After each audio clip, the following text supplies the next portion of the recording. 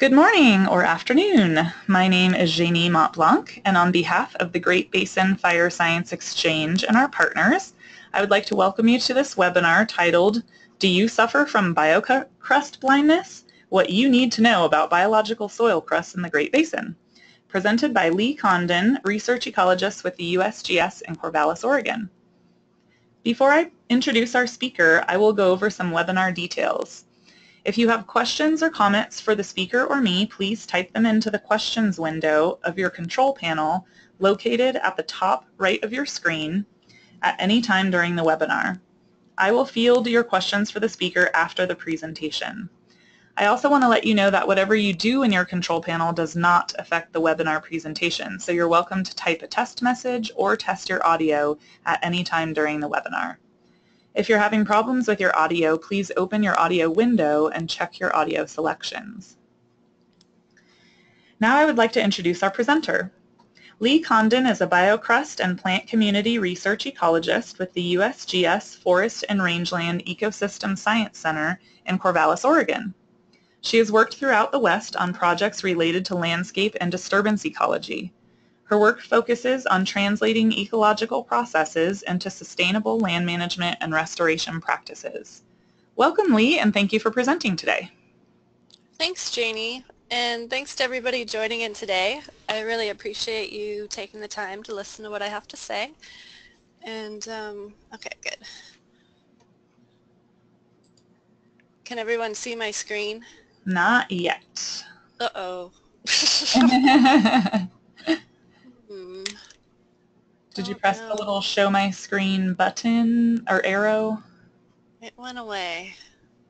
It went away. Let's see. Well, in your control panel, Wait. at the very top, it should be, yeah, there we go. Got it. Okay. All right. Great. Um, so what I'm going to be presenting today is some of my dissertation work and then there's been enough interest in that uh, that my dissertation was on biological soil crust in the Great Basin that I've been able to continue some of this as a postdoc fellow through uh, USGS.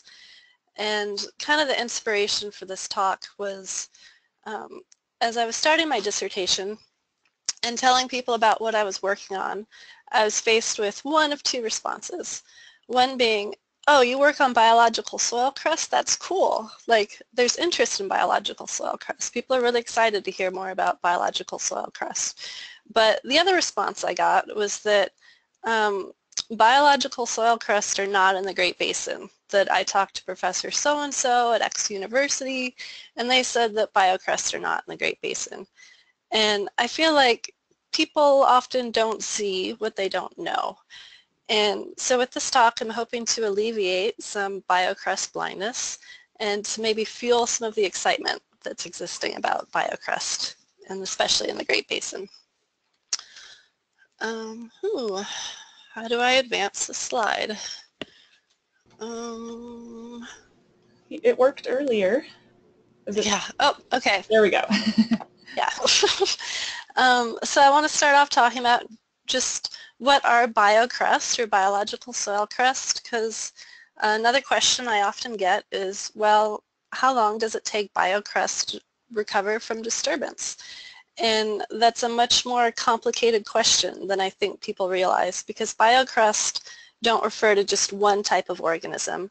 They refer, refer to a whole suite of organisms that live in the interspaces between vascular plants in arid and semi-arid environments. So they can be lichens, they can be fungi, they can be mosses, cyanobacteria, they can be all of these things.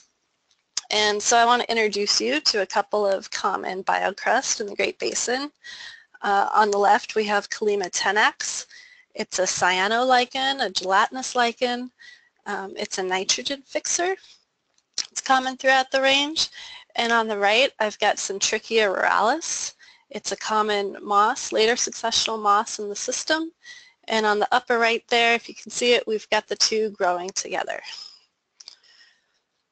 Um, so I don't know if people would have anticipated that there'd be a little pop quiz at the beginning of this talk, but I want you to take a moment and look out across this landscape shot and see if you can pick out where the biocrusts are. So thinking about interspaces uh, between vascular plants here. and we'll do this really quick because I can't see anybody's uh, face to tell how quickly or not they're seeing these things. But where I've put in little pink circles, um, I've highlighted some of the biocrust. And the one I picked out is white in the picture. Uh, this is Psora cerebriformis. I'll give you a better look here. Uh, it's a squamulose lichen. I think the species name cerebriformis comes from the fissures in the lichen. They look like little brains to me. Um, so there's one of them. And I've kind of, I kind of set you up to fail a little bit that I think looking at biocrust is more kind of belly botany. You really need to be down on your hands and knees to see biocrust. And um, so there I am down on my hands and knees looking at biocrust and this is a, a method that I've used throughout some of my surveys in the Great Basin. Uh, I have a little quadrat that I take out with me that's um, a quarter meter by a quarter meter and I've got wires set up across that little quadrat frame so you could do point intercept along that quadrat frame or you can estimate cover in there. And a lot of our common biocrust species are um, which refer to as poikilohydric and so that just means they're really opportunistic in how they use water. So I've got my spray bottle there and I spray the soil surface and some of the biocrusts will just kind of light up in that moment because they're taking up the water and they're starting to photosynthesize so they're much easier to see. So for scale here, um, I've got this picture of Syntrichia ruralis that we saw earlier and um, the wire square there is just five centimeters by five centimeters. So you can get a sense of um, the size of some of these crusts. And so in this shot, Syntrichia ruralis is larger than life. And here's another common one, a vagrant. This is Aspicilia hispida. Um, some folks say that the vagrants are more common where you have less disturbance. And here's another showy vagrant, uh, Xanthoparmelia neochlorochroa. And these vagrants um, just blow along the soil surface and they're able to collect water in that way, photosynthesize in that way, and um, that's how these particular forms of biocrust are. Not all, but some. And so I wanted to give you a little background as to how I became interested in biocrust. Uh, I have a, this is kind of a roundabout story, but I have a master's from the University of Nevada, Reno. And what came out of some of that work uh, was looking at site resistance in the Great Basin and that being related to cover of cheatgrass and we were also interested in cover of sagebrush after fire because really one of the big issues in the system is that the fire regime is changing. Fire is becoming more frequent, of larger extent because we have invasion by annual grasses such as cheatgrass.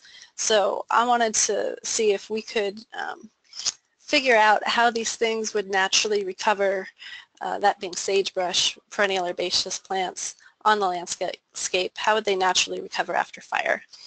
And so I used a technique referred to as structural equation modeling and there's some symbology that's commonly used in structural equation modeling. Uh, double-headed arrows are used to represent correlations.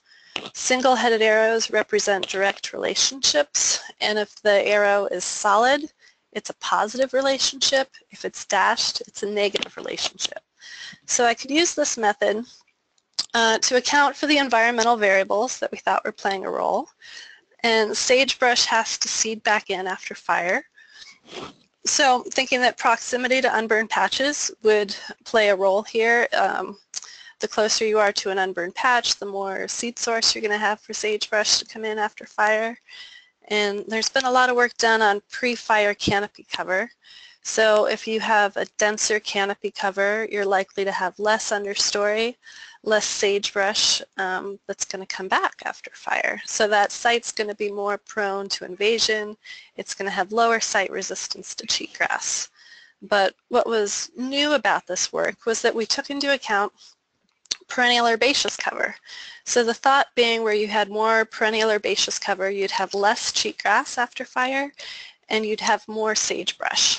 And this is a what we're hoping for in this system. So the results of this model, um, Where we had more pre-fire canopy cover, you did have less sagebrush, Artemisia tridentata, after fire. Um, but as we were um, hypothesizing, where you had more perennial herbaceous cover, you did have less cheatgrass, Bromus tectorum after fire, and you had more sagebrush.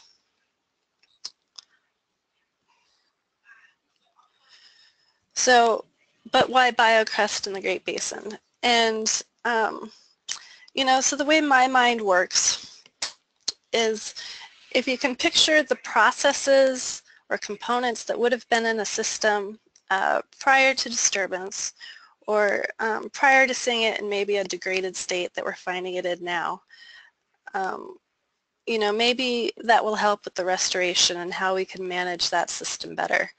And so perennial herbaceous cover uh, in arid lands and perennial cover in general can be fairly low.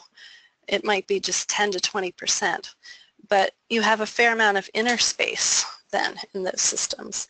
And so what would have been in the interspaces, and if we look at arid lands globally, the answer to that question would be biocrust. And I don't know how many of you are familiar with um, the movie Back to the Future.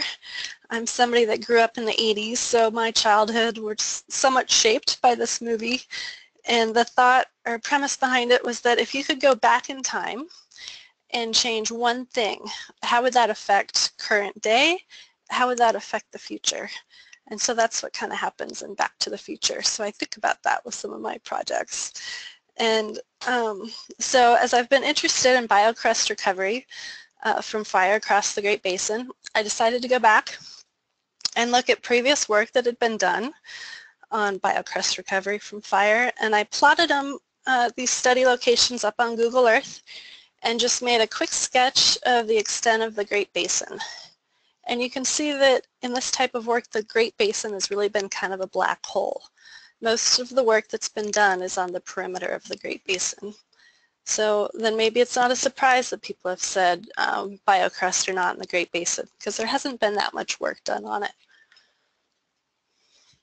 So Biocrust, um, again, kind of, uh, why do we care so much? And if we think about ecosystem functions and services that biocrust provide globally, they help influence nutrient cycling, um, some of them fix atmospheric nitrogen, which then make it available to vascular plants. They play roles in soil water, both runoff and infiltration, so that you can have areas of concentrated water that then are going to be available for vascular plants. And they also contribute to soil erosion. So they help to hold the soils in place. And if you only have maybe up to 20% vascular plant cover, um, there's a lot of soil that could possibly be exposed and needs to be held in place by something. And biological soil crusts fill that role. So thinking about site resistance in the Great Basin and invasion by cheatgrass and other annual invasive grasses, um, you know, the mechanisms or functions that cheatgrass is changing include changes to nutrient cycling, you end up with a much looser nitrogen cycle where you have cheatgrass. You have more nitrate, which is more easily leached from a site.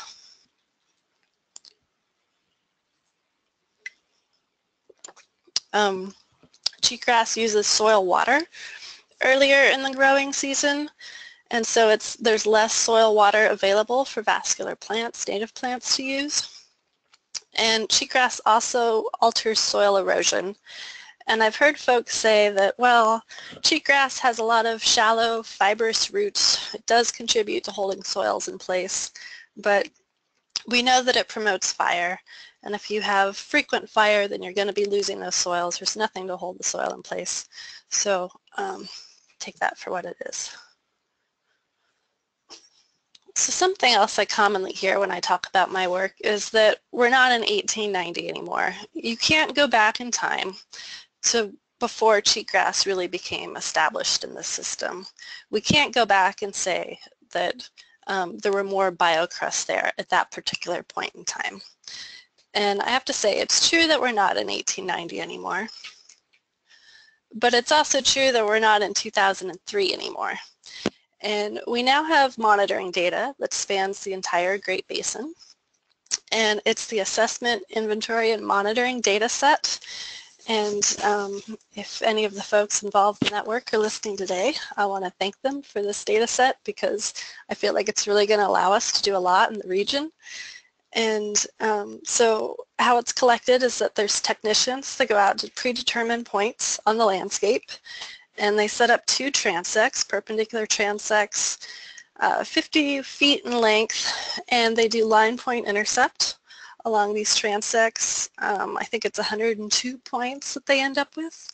And included in this data in this data is assessing basal ground cover. So did they hit bare soil? Did they hit rock? Um, did they hit litter? Or they would also note if they hit moss or lichen. And so I've taken this data, um, I've got about 3,500 points now that um, were collected sometime between 2011 and 2015. And um, I just noted, uh, well, so I summarized by plot and said if there was any noted presence of lichen, and if so, that's a solid filled in circle on the map here.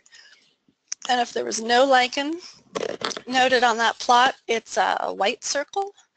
And I have the region looked at uh, divided up by MLRA, or Major Land Resource Area. And so that's just kind of a delineation that identifies an area that's more homogeneous in regards to soils, plant communities, land use, climate within the region.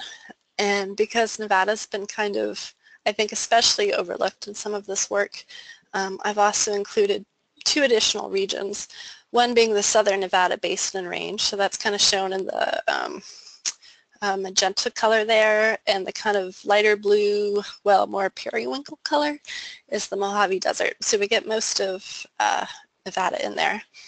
And I think we've um, alleviated the concern here that biocrusts do not occur in the Great Basin because uh, clearly they do. Here they are. And I've done the same thing with mosses. So again, a filled in triangle this time is the presence of a moss. If it's a white triangle, there weren't mosses found on that plot.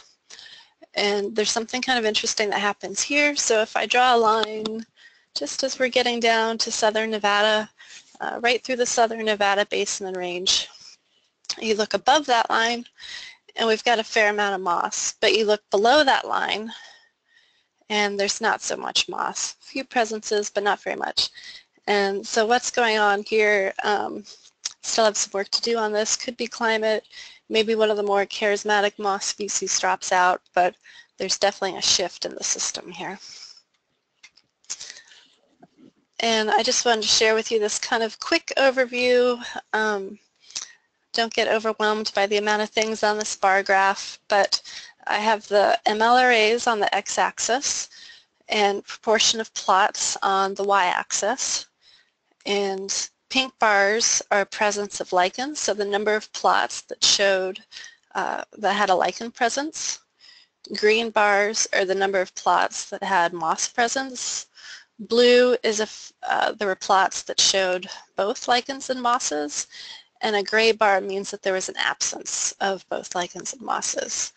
And then the letters above the groupings of bars an L being lichen and M being moss just indicates if there were more lichen or moss plots for that major land resource area.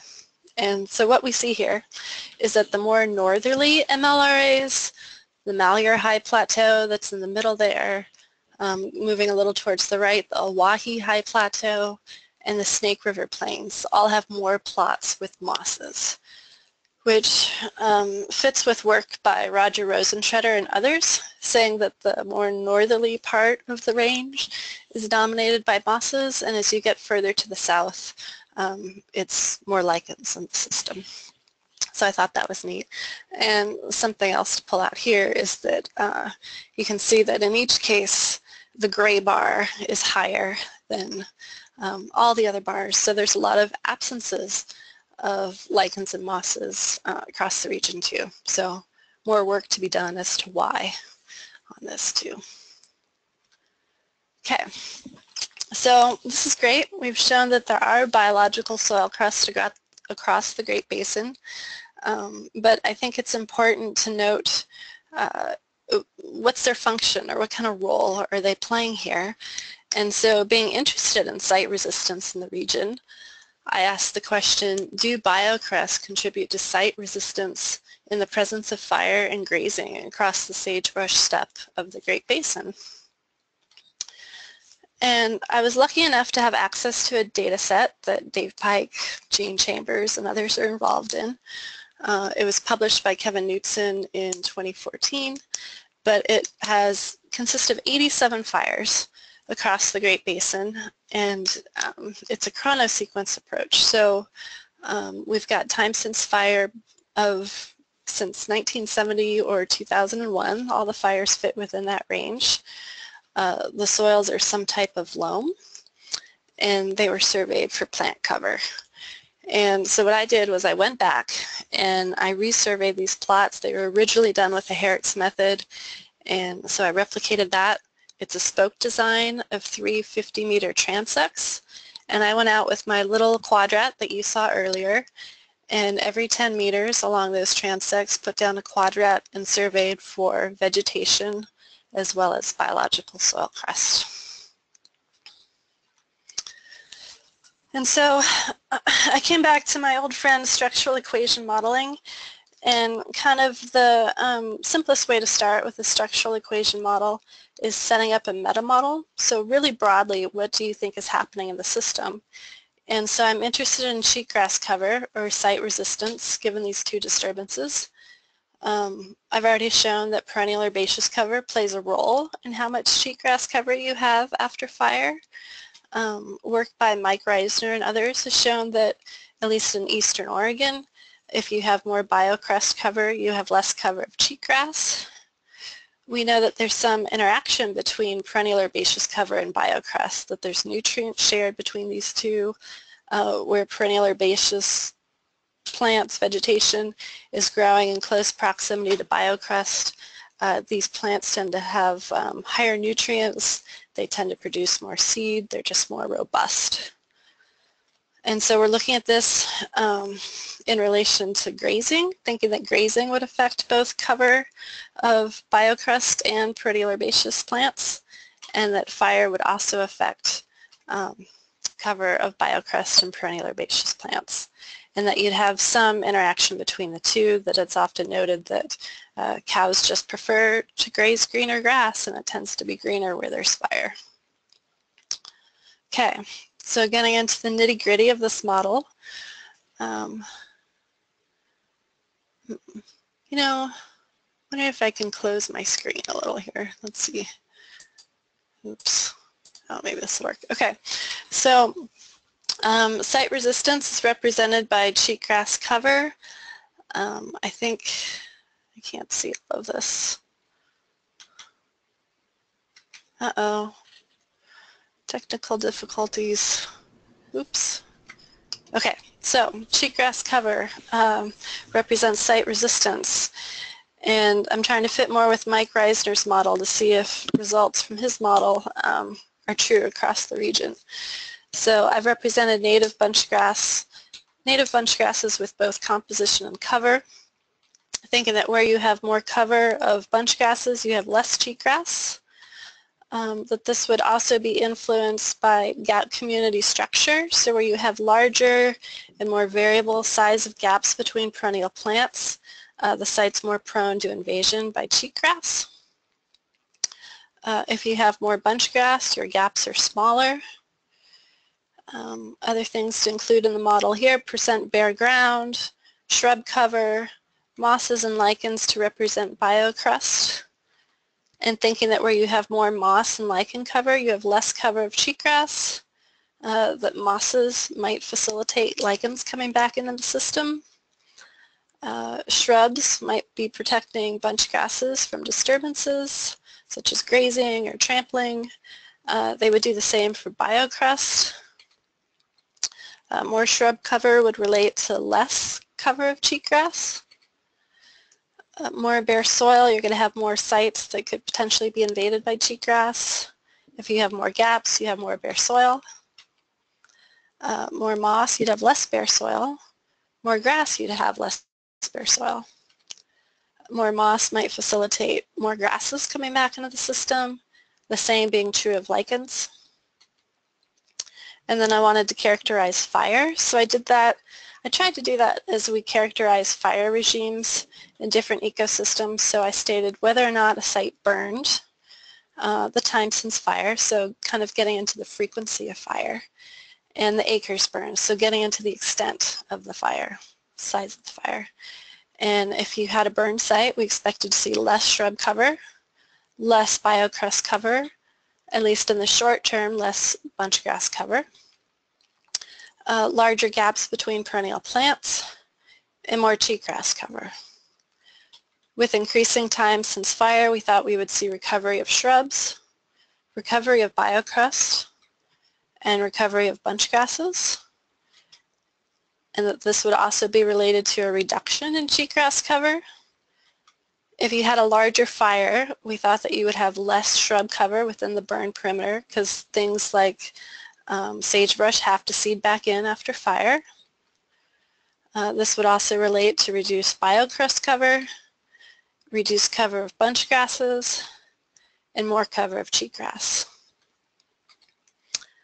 In getting into characterizing grazing intensity across the region, um, we've used distance to water, cow dung density, proportion of active AUMs. So um, this one might sound a little tricky. It's not that tricky, but um, so I got data from the BLM rangeland administration system. And what it states for a given allotment is the permitted number of AUM, so animal unit months um, based on forage, uh, how much grazing they think a particular site, a particular allotment can handle, and the number of active AUMs on that site, as well as the number of suspended AUMs on that site. So um, if the managers thought it was necessary to suspend AUMs because forage wasn't being sustained for whatever reason, um, there was a suspended number of AUMs. So I made this into a proportion because allotments are of different um, productivity levels, they're of different sizes across the region. So this is how I attempted to standardize grazing across the region. So we've got proportion of active AUMs, and we also have proportion of suspended AUMs. So hypotheses here include that where you have increasing distance to water, you'd have uh, less cow dung. The cows like to stay closer to water. And at the same time, if your cows were closer to water, the further you got from that water, uh, the more bunch grass cover you would have. With increasing cow dung density, you'd have a change in the composition of bunch grasses. Cows really do prefer uh, certain grass species over others and that this would relate to the size of the gaps between perennial plants. Uh, if you had more AUMs on the landscape, you would have less bunch grass cover, more cow dung, and more cheatgrass. And then with suspended AUMs, we thought that you would have less shrub cover and less cover of native bunch grasses. And then thinking that where a site burned, uh, that the cows would prefer to use that site, that we would still see that, uh, that you would have a higher density of cow dung and wanted to take into account some environmental variables here. So we included heat load exposure, thinking that where you had a drier, hotter site, you would have less cover of native bunch grasses.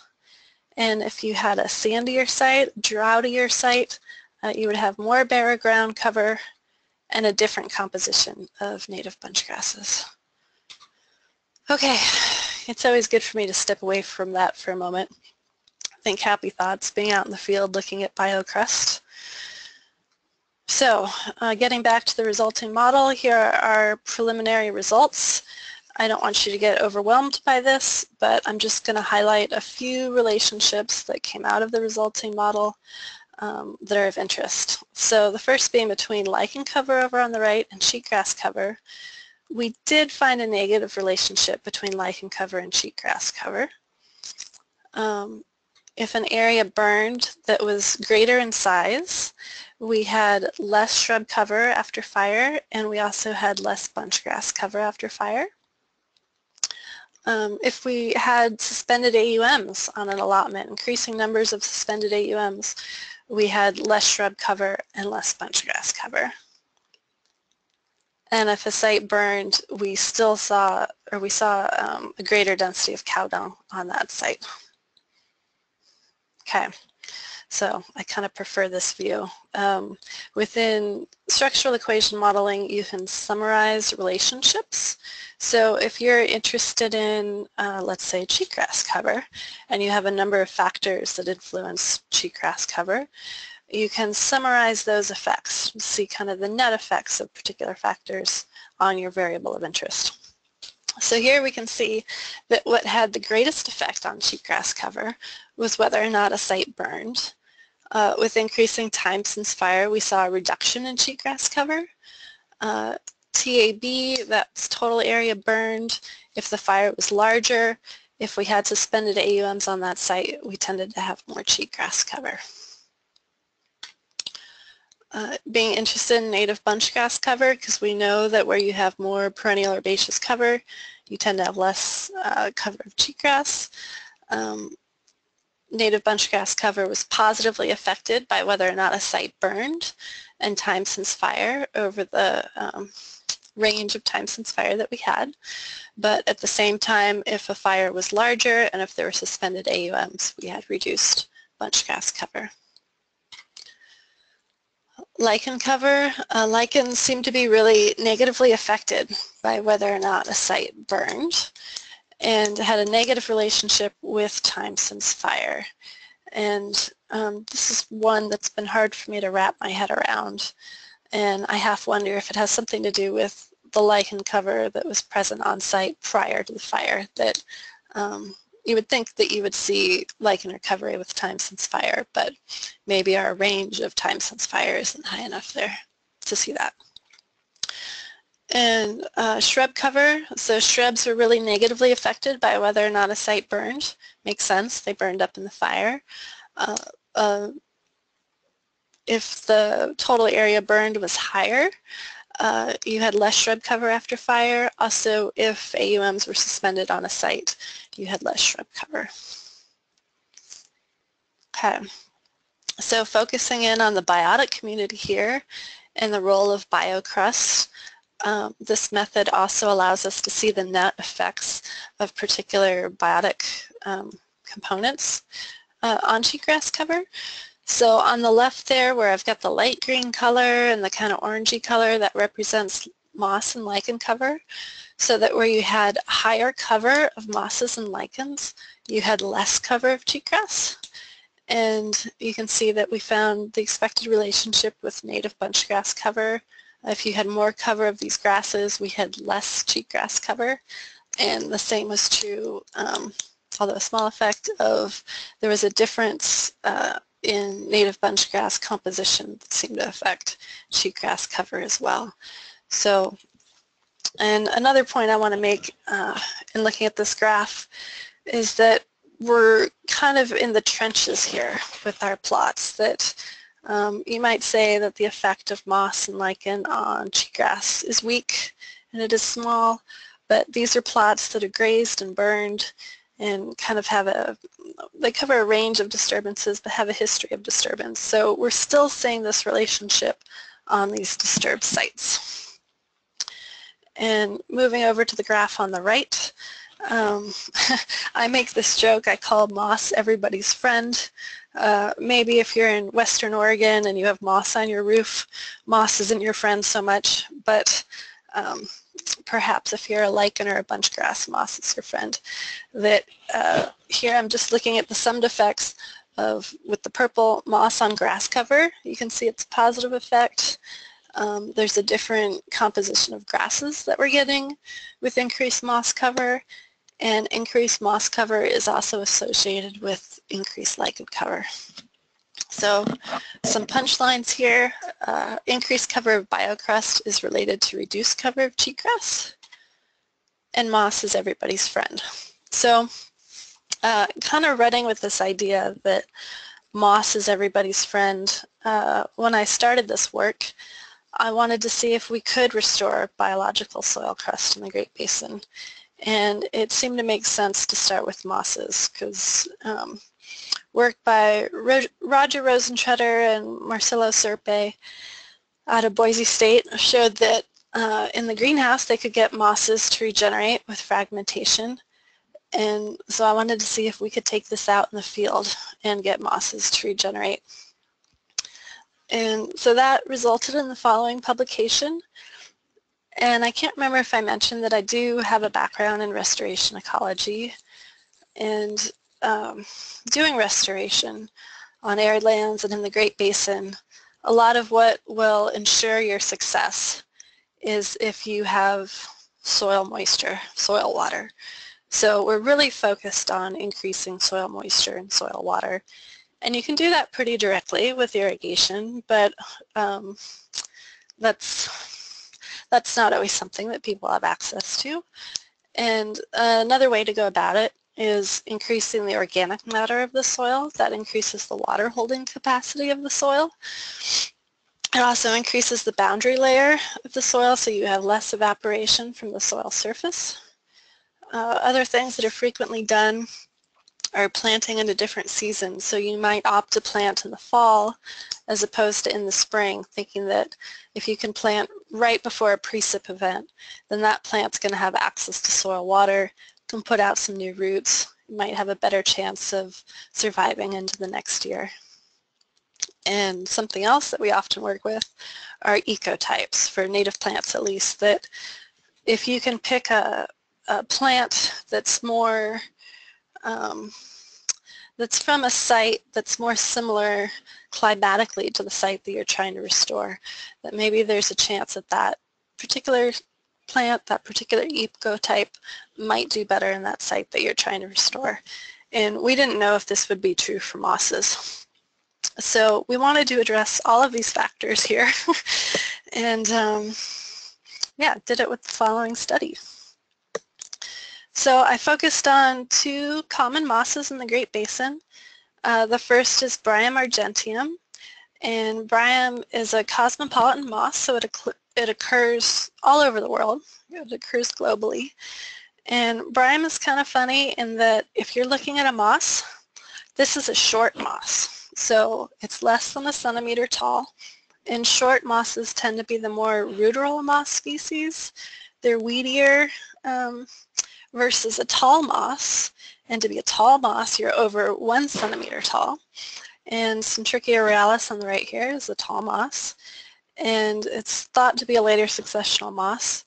And the different pictures that I'm showing there, you know, you see it kind of um, dry and shriveled looking on the right. Uh, that's just it in its resting state but if you were to spray water on it, it would instantly light up and look like the two moss pictures that are kind of in the center of the slide there.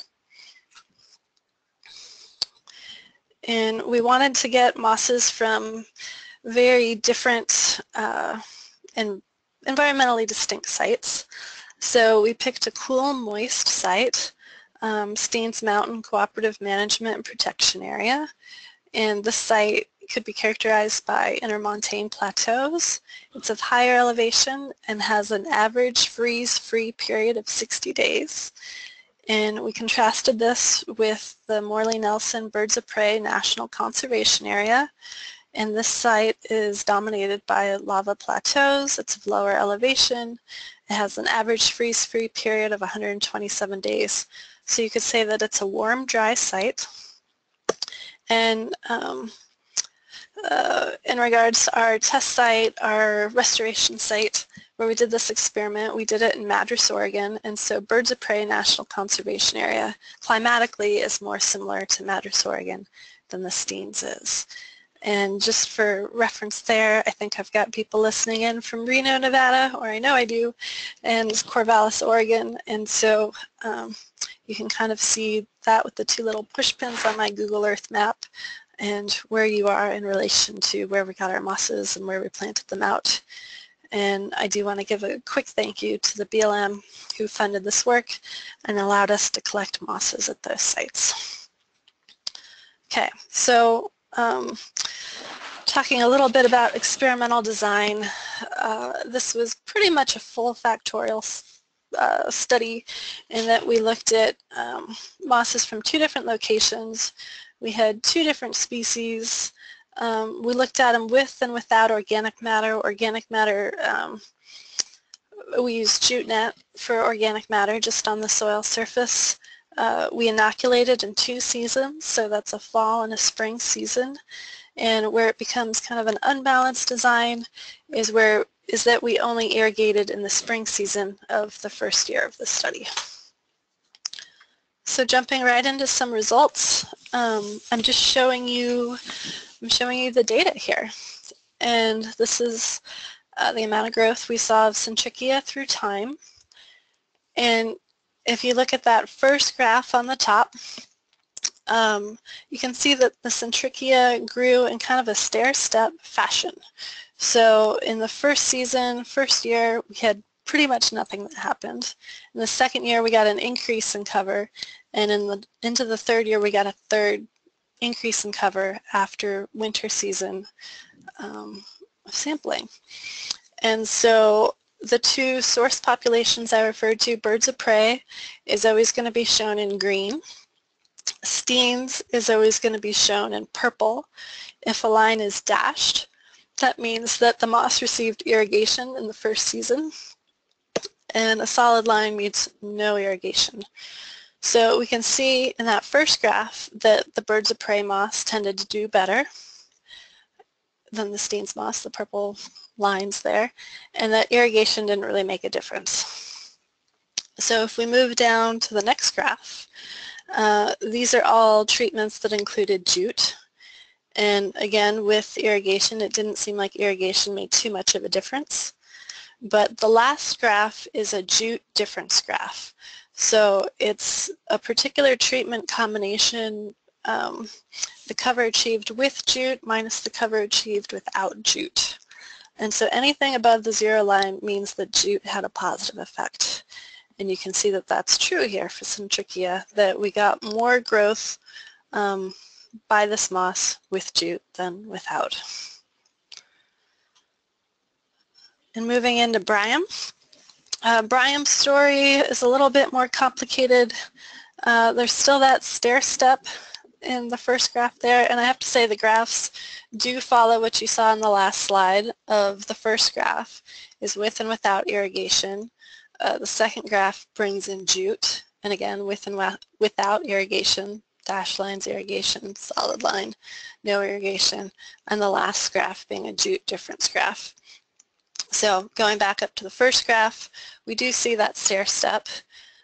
Moving down to the second graph, um, we had a really interesting interaction between jute and irrigation where I feel like we were kind of executing climate change scenarios on the moss without my realizing it at that point in time, that we got a lot of growth by Bryum in just a few weeks after inoculation. But as it became warmer in central Oregon, we started killing off the moss with that spring irrigation. And if you look at that second graph and follow it through time, you can see that by our last sampling date, um, the Bryum is still, it's, it's just on its way to recovering to the same amount of cover as moss that we didn't irrigate at all. Okay, and so moving down to that last graph, um, anything positive represents a positive effect of jute on the moss. And you can see that that was pretty consistent except for where we irrigated the moss in the spring season. Okay, so the other factor that I mentioned but I haven't talked about until now is that we inoculated the moss in two different seasons. So a spring versus a fall inoculation. You know, thinking that with plant restoration, where you plant in the fall, you might be facilitating growth because uh, you're closer to precip um, when precip would happen than not.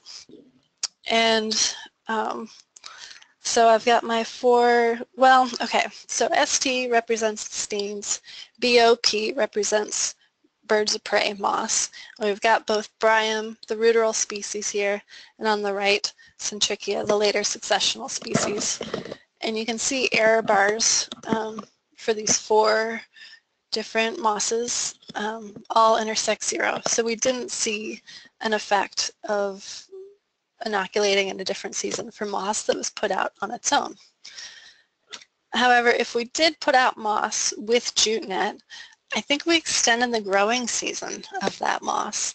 So um, you can see that most of these um, differences in mean cover between uh, moss inoculated in the spring versus the fall with jute uh, are positive, and the only one with error bars that intersect zero is Bryum from the Steens. So jute net with uh, moss inoculated in the spring had a very positive effect on moss growth. Okay, just wanted to share a pretty moss picture there. Uh, my friend Rebecca Durham, who's a BioCrust enthusiast and a great photographer, shared this one with me. So you can see uh, the moss that I'm discussing here. So, because it seems like we're almost out of time, um, what we now know in 2017 about biological soil crust, I think we can pretty confidently say that biological soil crust occur across the Great Basin, uh, that lichens and mosses are associated with reduced cover of cheatgrass, and that mosses can be restored quickly in the Great Basin without irrigation. And um, in my last life, I guess current life too, as a restoration ecologist, um, I'm excited about the BioCrust work, but I'm also really excited to have a new restoration tool where we can quickly achieve native cover uh, without irrigation in the system because it's hard when you have to water everything. It's just not always possible. Okay, and I want to leave you with a, a final thought uh, that we should manage for BioCrust in addition to plant communities across the Great Basin. And a few more pretty pictures with some acknowledgments of those that took the pictures. And if there's any questions, um, I'm happy to take them. Great, thank you so much, Lea. Uh, sure. first question, what methods did you use for inoculation? Mm, um, well, so how to say this briefly. So first I fragmented the moss and I just rubbed it through a soil sieve so that we would have smaller pieces of moss and more likely get uh, even coverage when we spread it out. But I made a slurry with water and uh, let the slurry sit for about 15 minutes before spreading it on the soil surface because um, moss physiology is such that they should be fully photosynthesizing after being um, kept wet for 15 minutes. So hope Great. that answers that question. Great, thank you. Um, and I forgot to mention, uh, if you have questions, please, um, in your control panel, open your questions window and type your questions in there. All right, um, uh, Lea, I have a question. So I was a little bit confused in the structural model when you were talking about um, inactive grazing plots. It looked like inactive plots um, with inactive plots, you see a decrease in um, mosses and lichens and and um, you know other vegetation. So I'm I'm confused. Is that saying that because uh, active the active grazing part seemed to go away? So is that saying that those plants are improved by grazing? Um, sorry, I didn't explain that very well. So anything that didn't show up in the preliminary resulting model um, was a factor that wasn't found to be significant in the model. So it just means, um, you know, I had active AUMs on those sites, but the proportion of active AUMs we didn't see as having a relationship with um, biocrust or grass cover in that way. It doesn't mean that it doesn't have an effect. It's just that, um, you know, where I feel like if we went out with an experiment and uh, brought some cows out there and saw what they did, we would see an effect. But for this particular variable of the number, the proportion of active AUMs, um, we didn't see a difference in biocrust cover, bunchgrass cover amongst plots, if that makes sense. But I think what um, really jumped out at me with that is that where there were suspended AUMs, so where um, livestock was were taken off of given allotments, we saw that signature still on the landscape, that that resulted in less shrub cover, less bunch grass cover. Okay, I get it. All right, thank you. Sure. Um, another question, what concentration proportion of mosses were used in the slurry? What, mm, it was all moss in the slurry. Well, okay, so maybe, maybe this will get at it. So uh, my little uh, treatment plots were really just five by seven inches, so little seedling flats, and I used a gram of dried moss in the slurry for each one of those flats. So however that would work out, that would be your moss rate of inoculation, I guess. Great, thank you. Um, and another question I have, um, so in the, towards the beginning when you showed the, um, the great graph of all the, uh, the, the amount of plots that had lichen, moss, um, both or nothing, that that's just that is a snapshot for when that AIM data was taken. Is there any? I'm just wondering, you know, those gray bars where there's you know plots without any moss or lichen. Um, do we? Is there any way to? Is there any data from history that you can go back and tell if that number, you know, is decreasing significantly, if it's the same, or is that all we have is this snapshot in time? Um, I think for these sites right now we just have a snapshot in time. I'm, I'm hoping to go back and visit some of these places, but um, I've just I've just been at the stage of looking at the data and kind of mapping it out and trying to pull out some of those relationships. So um, yeah. that's what we have at the moment. Great, thanks. Um, another question, did you place tall mosses under shrubs or just in interspaces? Um, just in the inner spaces, I was curious about, um, uh, you know, what shrub cover or shade cover might do for these mosses, that often you do see a lot more moss under shrub, um, but I, I didn't look at that. And actually I have to share my little fake shade structure didn't work out so well because I had a lot of clay in the soil and so they kept moving as they were getting wet. So we dropped that. All right, thanks. Um, another question. Washington BLM has recently started collecting AIM data with GBI folks. Do you see a possibility of anyone expanding this research to the Columbia Plateau in the future? Yeah, for sure. Um, did I mention that I'm a postdoc? yeah, no, I there's definitely a lot of biocrust in the Columbia Basin, and I'd like to see more work being done there. And um, yeah, if we see the same patterns, I would be interested to know. Great. Uh, what was the range of time since fire used in your model? Thank you. um, so the oldest fire was 1970 it was on that slide, uh, whether it was 2001 or 2003, I don't quite remember, but I think that puts us to a decade, no, well, we're in that range of time since fire, so not the oldest fires, but at least a couple of decades of recovery that we could see. Great, thank you. Do biocrusts seem to have an impact on fire susceptibility? Um, well, that's a good question. So um, you know, they would be in the inner spaces and uh, they would likely affect the fuel load and continuity. So we do know that where we have more biocrust, we have less, um, at least cheatgrass cover, so you would think less annual invasive grass cover. Um, so that should reduce the fuel continuity and um, so if you had more biocrust on a site, you just, I think, wouldn't be able to carry fire as much is the thought. Great, thank you. Um, I've worked on soils in the Great Basin and in Cent, Oregon. My question is in regards to the vascular crusting in the soil as it relates to biocrust, specifically as a variable. Um, well, physical crust is really something different. And so I don't know if I said it right. It, it said vesicular crusting, and I might have said vascular. Um, Sorry. Um, yeah. okay, you got it. hmm. Well, maybe read the question one more time. I'm not totally sure what they're getting at.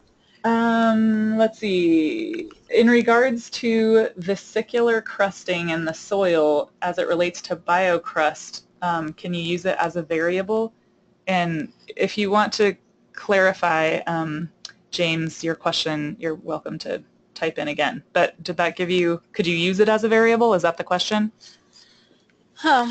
I mean, maybe it would have an effect on the community. You would, you would see that um, vesicular crusting being just that you have like little bubbles on the soil surface. Um, but, you know, it would be, I would take it as like an environmental variable that might affect uh, which crust could grow well on a particular site. But I haven't looked at it and I can't say that I can think of anybody that has. But yeah, something to think about. Great, thanks. Um, in your work, have you studied biological soil crusts on treated burned areas? If so, did you find or observe any treatment effects on biological soil crusts? On treated burned areas, so like, you think they mean prescribed fire? That's what I'm assuming, but if you want to clarify. um, well, I guess regardless, I haven't, I haven't yet seen. Seedings and herbicide is the clarification. Oh, and seedings and herbicide. Um, I have to say I'm starting to work on some of this. I know some others are too. Uh, results aren't in yet, but I think that's coming. Okay, so for a future webinar. Yeah, future webinar. All right. Well, that looks like the last question. If you're still typing a question, please continue to do so.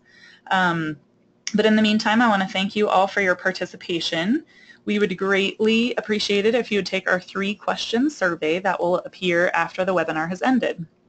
I will post the recording of this webinar on our Great Basin Fire Science Exchange YouTube channel this afternoon, and the link will be automatically sent to you through the GoToWebinar system tomorrow. And this is our last webinar of the season, so thank you all for joining us. It will still include webinars um, from our partners in our newsletters, but as far as the Great Basin Fire Science Exchange webinars, um, we will resume those in the fall. Um, so if you have any further questions regarding this or future webinars, please email or call me anytime.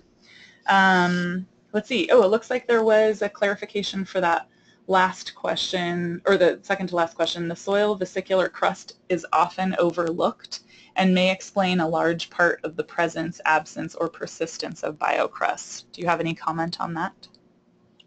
Um, I'd like to look into it, but no, I have nothing to add to that. Okay. Thank you for the clarification and thanks for that final comment. All right, so again, thank you for attending and thank you, Lea, for your presentation. Okay, thank you. All right, have a great summer, everyone.